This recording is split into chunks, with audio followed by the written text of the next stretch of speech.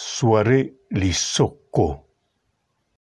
babi na soirée wana so oza na lisoko te koya te donc mwasi atai basi akanda donc fo boya bomona de la forêt star na biso moko donc ye moko déjà confirmé donc nga mpe naozala wana donc boya ebele ebele ba vrai chéri botala ye moko le boss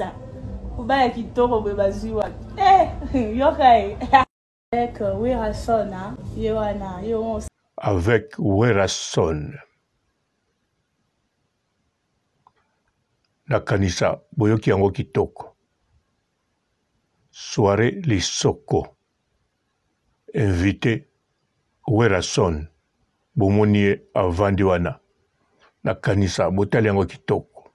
ndenge wana te obia botala yango lisusu babi na soirée wana so oza na lisoko te koya te donc mwasi atage basi akanda donc fo boya bomona de la forêt star na biso moko donc ye moko déjà confirmé donc nga mpe nozala wana donc boya ebele ebele ba vrai chéri botala ye moko le boss obala kitoko boye bazwi wapi eh, yoka ye Avec euh, Werrason, hein, ye wana, ye on mbote bapapa bamama bandeko mbote barando na barandonete mbote bato oyo balingaka rando na baoyo balingaka rando te mbote ba jeune garçon na ba jeune fille mbote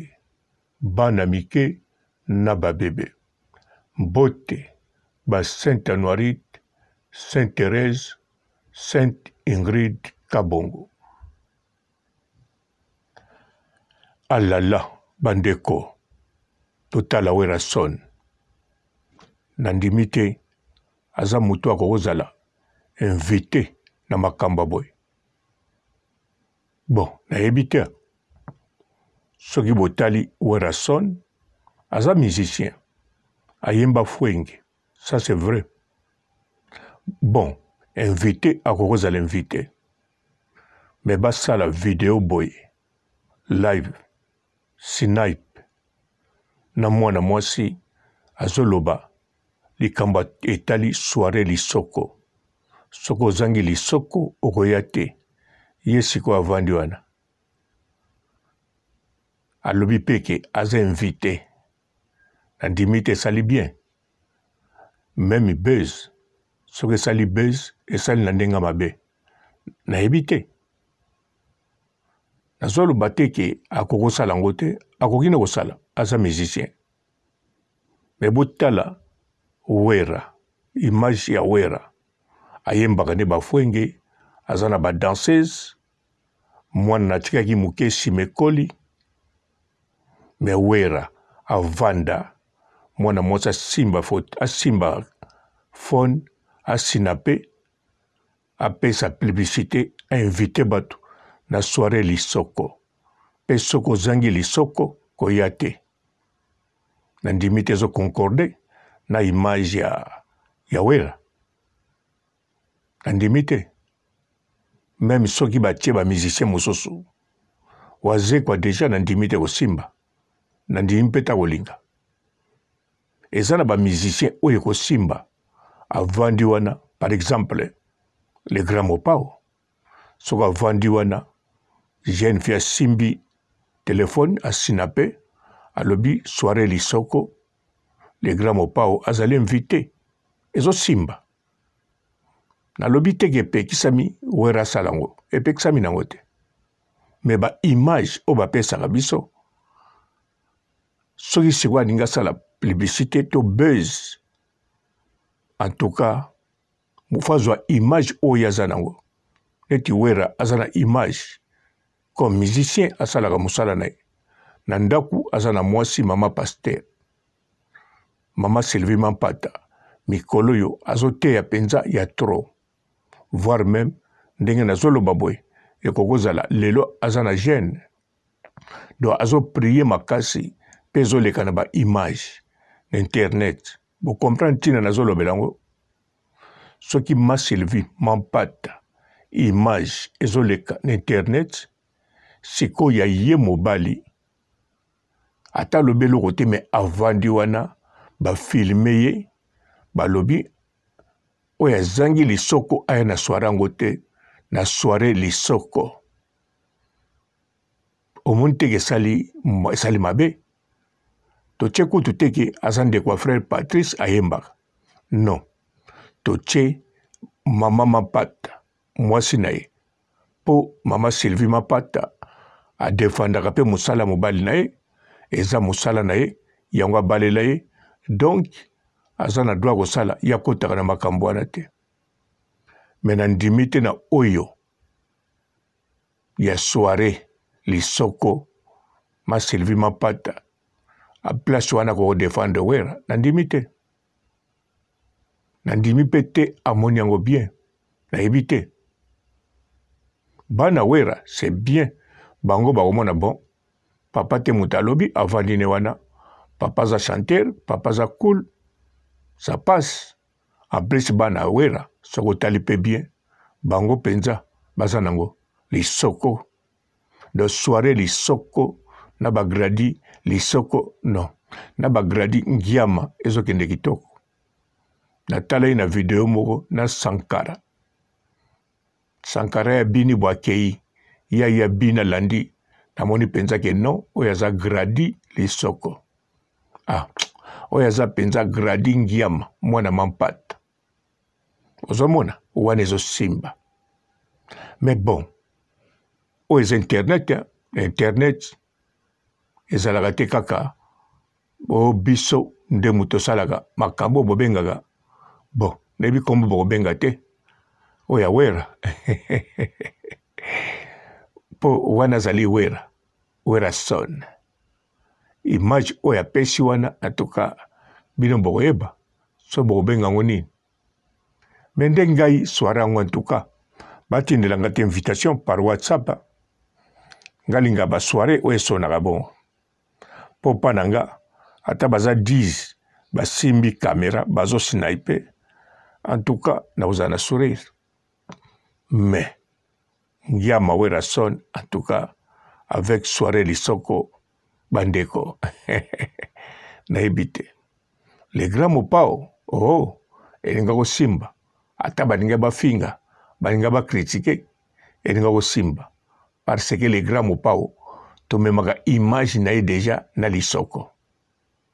lokola le image ya oh, le grand mopao tomemaka yango ye na lisoko batambulaka nzela moko elinga kosimba aza na ba danseuse moto babetaka masolo na ye abimaka na bato tu kaka le grand mopao moto babetaka masolo abimaka na ba danseuse kaka le grand mopao bien sûr le grand mopao na ba musicien mosusu basalaka presque makambo moko me ngai nazoloba oyo balobaka na monoko donc eyemba ye moko le grand mopao masumu ya israel senga donc nyonso se ye yango asala papa plus plus double lisoko ah double king komba lisoko yango ekangami nga ah lisoko Soiree lisoko. Wera na kwa na soiree lisoko. Bon, wera pe alela lisoko. Mwana atikaki moke sima ekoli. Egali toujours lisoko. Nini susu? Fuenge. Fuenge, ah mama fuenge. Soki otali clip, otali ndenge bazobina te ndenge nini kakola bala linda te pourquoi pas po soki otali linda bisika aza azoningisa nini lisoko otali badanseuse ndenge bazobukana ntango roi david azoganga ntango wera agangi nani wana roi david azongisi lisoko non azongisa ye bongo nazongisi se moi roi lisoko te ezalaki nini se moi roi david aletya bango contre mire totala lisoko te werra elingi kosimba kaka na nzembo soki azwi fi wana animatrice ye azoyemba fille wana azobwaka ba cri oyo akoya na soirée soko ozangi lisoko koya te elingi kosimba me wera mpenza vandi azomela mwa eloko fille wana telema abendi azolobela siko lisoko soirée lisoko epo azoconfirme biso wera aza invité invite d'honneur bazomonana mpe ka bango mibale na image nandimi te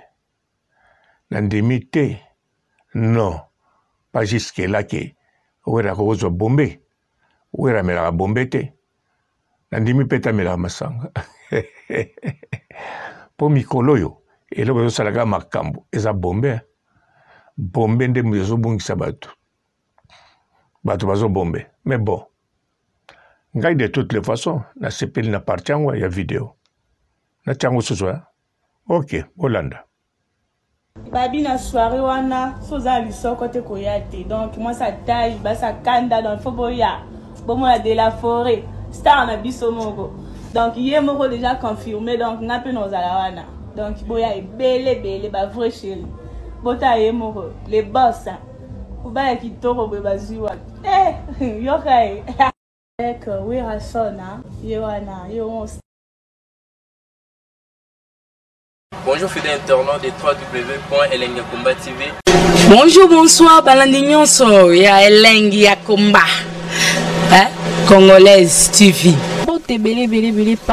tout dans le monde partout où vous êtes partout bozolanda elengi ya combat tv vraiment bonjour bonsoir na babone bafan nyonso ya elengi ya combat congolais tv bonjour à mon boss wana napesa yango vraiment ya mopanzi bonjour à mon boss jp kiama je sali mon boss balobi boss de boss babi jp kiama